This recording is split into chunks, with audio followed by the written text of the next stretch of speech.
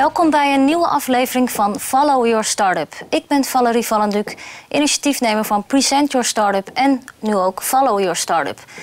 De eerste editie van Present Your Startup was in november 2014, waar een aantal startups pitchten met Jort Kelder om funding op te halen.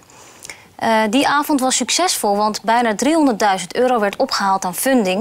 Op verschillende manieren. Onder andere door het sms'en van de bezoekers in de zaal...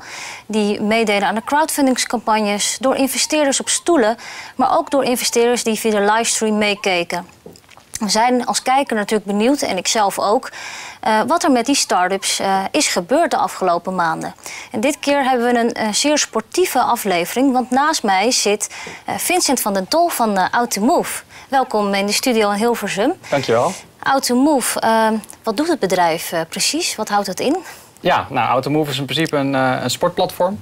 En wij helpen eigenlijk trainers met drie dingen. Uh, trainers, daar heb ik het over trainers van hardloopactiviteiten, bootcampactiviteiten. Nou, alle mensen die in het park ziet lopen in het weekend. Mm -hmm. Of personal trainers. En die helpen wij met promotie van hun activiteiten. Met de hele administratie van welke deelnemers wanneer aanwezig waren. Ja. En wij helpen ze ook met het afrekenen van hun, uh, van hun trainingen. Oké, okay, dus het platform is met name gericht op, op de trainers? Of is het ook gericht op de nou ja, de consument die er gebruik van wil maken. Nou, het mooie is dat we dus die trainers helpen.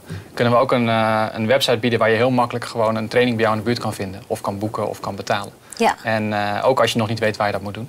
Ja. En dat is eigenlijk ook het stukje promotie waar we dan de trainers mee helpen. Dus het is wel een marktplaats. We helpen eigenlijk aan allebei de kanten helpen we zowel de sporter als de trainer. Ja. Um, en de trainer is denk ik jullie hoofdklant? Of zie ik dat verkeerd? Ja, nee, dat klopt. Ja. Ja, dat is, uh, we hebben daar met name in de laatste maanden heel erg op gefocust. Dat was het uh, leuke wel van Present Your Startup waar we meededen. Uh, en een advies wat we toen ook zelfs in de uitzending nog kregen en ook daarna was dat we wel dat het ons aangeraden werd om goed te focussen. Ja. Uh, het probleem in de marktplaats is natuurlijk altijd dat je twee kanten moet bouwen. We moeten zorgen dat, dat we sporters kunnen interesseren voor onze site. En dat ze zien wat, wat ze kunnen doen bij de trainers die bij ons zitten. Ja. En tegelijkertijd moeten we die trainers ook op onze site krijgen en, uh, en helpen. Ja. Nou, dat heeft wel een extra trigger gegeven. En daar hebben we nog een paar goede, stevige gesprekken over gevoerd ook. Uh, ook met de investeerders die, uh, die bij Present Startup zaten. Nou, dat heeft ons heel erg geholpen. En de afgelopen maanden hebben we vooral het trainerstuk heel erg uh, ja, ontwikkeld. Veel in gesprek gegaan met trainers. En, ja, en dat, dat loopt nu heel goed. Oké, okay. want daar ben ik inderdaad benieuwd naar. Van, uh, ja. Allereerst, hoe was het om mee te doen de, die avond? Hoe was het om naast Jort Kelder een pitch te houden ja. voor zoveel uh, bezoekers en dan ook nog via de livestream over, nou ja, eigenlijk over de hele wereld te zien? Hoe ja. was dat? Ja, het grappige was na de hand, ik heb het er met andere kandidaten ook over gehad. Uh, de halve finale was eigenlijk spannender, om, om oh, ja? genoeg te zeggen. Oh, wat grappig. Op een of andere manier was het toen we er helemaal stonden. in ieder geval voor mij was het, ja, ging het heel snel, er gingen die zenuwen weg. En uh, ging het heel lekker. Um, ja, dat was een hele mooie ervaring. Het was uh, een beetje verrassing ook eigenlijk hoe, uh, hoe goed en hoe groot het allemaal was. Ja. en daar, maar daarom zeker heel leuk om te doen. Ja. En heel spannend. Ja. Oké, okay, en je vertelde dat je met investeerders in gesprek bent gegaan daarna. is daar iets uitgekomen of heb je juist meer tips gekregen? Ja, er zijn een aantal goede tips uitgekomen, goede adviezen. We hebben nog steeds contact met een aantal investeerders ook. En die houden op de hoogte. En uh, ja, ik heb het volgens vertrouwen in dat we daar de komende maanden wel, uh, wel, uh, wel iets in gaan vinden. Um, we zijn voornamelijk heel erg druk bezig geweest eigenlijk met onze, ja, gewoon met de trainers die zich hebben aangesloten. Dat is heel erg goed gegaan de afgelopen maand. ja, dus dat heeft al onze aandacht gekregen. Ja, oké. Okay. Ja. En, en, als ik het een beetje tussen de regels doorhoor, ja. is het dan zo dat een investeerder heeft gezegd: Nou, als jij, ik zeg maar wat, een bepaalde omzet of target haalt, dan wil ik misschien instappen? Of, Nou, wat we wel tussen de regels, ja, dat is eigenlijk een beetje wat, wat, wat we tussen de regels eigenlijk uh, horen, wat ik hoor. Um, wat we eigenlijk continu terugkrijgen is dat iedereen zegt van nou, zo'n sportplatform, daar gelooft iedereen wel in. We zien allemaal dat heel veel mensen sporten en uh, iedereen ja, gelooft ook wel dat, dat het voor trainers niet, niet fijn is om die administratie zelf te doen en die betaling af te handelen. Ja, ik zie het een beetje als een opdracht die wij nu gekregen hebben, is om te laten zien dat wij inderdaad ja, heel veel trainers op deze manier kunnen overtuigen. Ja. Um, en uh, dat is een soort bewijs, denk ik, wat we nog even moeten leveren. En ja, dat, ik, dat gaat dus de afgelopen maand heel goed. Dus ik ben benieuwd als we daarmee terugkomen bij de mensen waarmee we contact hebben, hoe dat, hoe dat ja. gaat vallen. Ja. Oké, okay, leuk. Ja. Spannend. Ja. ja. En uh, nog steeds niet iets uh, van crowdfunding uh, bedacht? Want dat werd ja. nog een beetje zo gezegd van... nou ja, je, je gaat alleen voor de investeerder, zeg maar, of voor één of twee. crowdfunding nog niet overwogen? Nou ja, er werd heel veel op, op getipt, inderdaad. Ja. Um, we hebben het in eerste instantie niet gedaan... omdat we echt ja, een groot budget zoeken om om echt onze internationale ambitie waar te maken. Ja. We zijn nu even aan het kijken of we misschien een korte termijnplan kunnen maken voor het komende jaar. Omdat we best wel zien dat het nu wel goed gaat eigenlijk met, met wat we nu zelf kunnen doen. Ja. En wellicht dat we dan een kleine stap kunnen maken eerst. En daarna om ons goed voor te bereiden op een, op een grote stap. Ja. En daar zou crowdfunding een rol in kunnen spelen. maar dat moet de komende maanden als ja, nu alles goed loopt en, en klaar staat. Mhm met de eerste groep gaan we daar eens even goed voor zitten. Voor zitten. Ja. ja, ik heb ook een leuke publicatie van jou gezien in het Haarlems Dagblad. Ja. Na, zeg maar, Present Your Startup. Ja. Heb je nog, nog andere publicaties of waar ben je nog ergens voor gevraagd? Um, ja, we, zijn, we hebben een paar leuke, leuke aanvragen gehad voor partnerships. Twee weken geleden hebben we nog met een paar ondernemers gesproken die in België ook een, een platform op willen zetten. Okay. Een idee willen zetten. Dus daar zijn we mee in gesprek. Het zou heel leuk zijn als we daar al uh, natuurlijk al meteen kunnen, kunnen samenwerken. Ja. Ja, en verder hebben we bij uh, een kantoor in Amsterdam een, een, grote innovatieve werkplek waar zo'n 3, 4, 500 man werken. Um, ja, daar hebben we ook wat promotie gedaan en daar gaan we ook sportactiviteiten organiseren. En dat contract is ook rond. Dus ja, dat is allemaal hartstikke leuk en spannend. Ja, leuk, inderdaad. En doe je het nou helemaal alleen of heb je ook een partner?